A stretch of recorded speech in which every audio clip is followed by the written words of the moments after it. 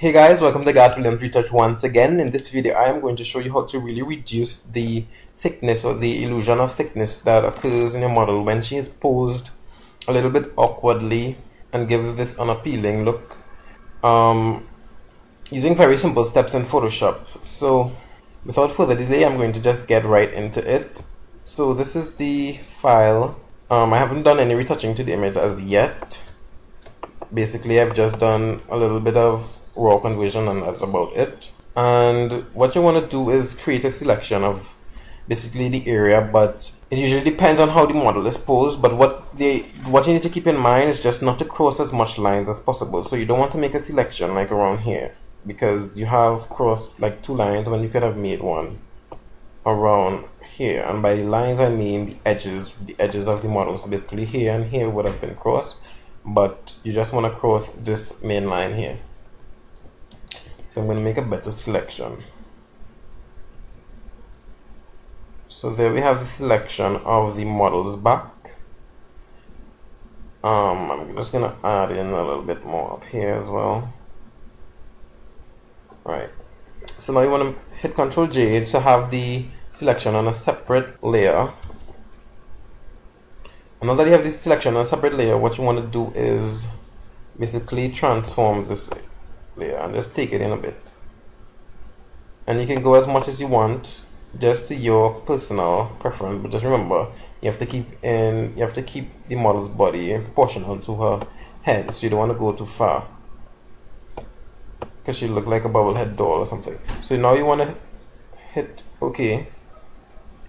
Once you're satisfied with how far you have taken it in I think I have done it too much but I'm just going to show you how you can do it or you can just carry back a little bit. I think I did it too much so I think about here is good enough.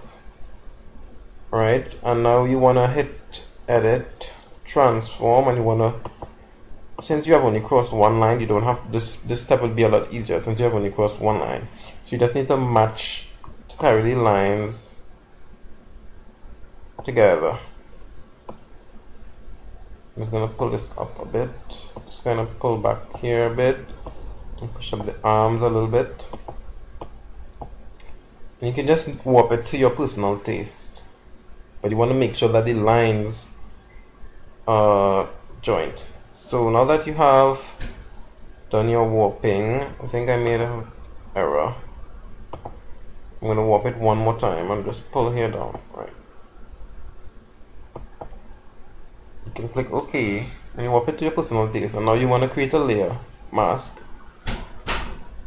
and you want to get rid of the harsh edges by painting black on the layer mask and as you can see we have really made her look a lot slimmer a lot less thicker. And she does look a little bit awkward. Now we're going to fix that in liquify.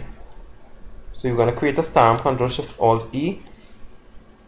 And then I'm going to make a selection of the entire model because I don't want, for the sake of this video, I don't want to um, liquify the entire image because the image is a little bit big so it's to take up a lot of memory so I made a selection of the model and then I'm going to filter liquify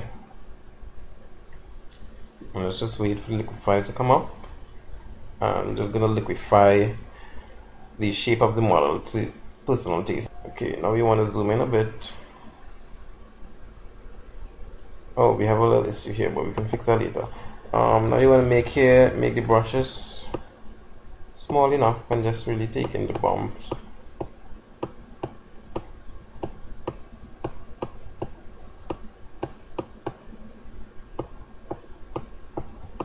Okay, I think that's good enough see how it looks from far maybe her back is a little bit too straight I want to take this part in a bit it doesn't look so straight so give it a little curl. Right. Maybe I can pull down this a bit Um, and even take in her, her, her arms a little bit further. Okay, so I think I'm satisfied with this. And you can really play around with it a lot more to suit your personal taste but I'm just giving you an idea as to how it can be done and this is it again. It's probably not the same as my my attempt you see it's a lot different. But um just you have an idea as to how it can be done and how it is done.